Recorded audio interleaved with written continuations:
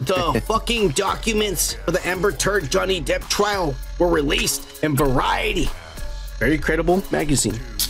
This is not Variety coming from magazine. us. Come out and stated a lot of these reports about what they read on there, and they're saying that Amber Turd said Uh huh. that when they started filming Aquaman 2, that James Wan, the director, little Asian Yeah. dude, that does, Yeah, yeah. that does the fucking uh, what are the Insidious movies and shit.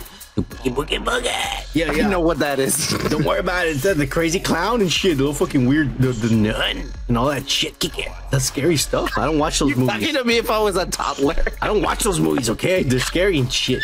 Dumbass.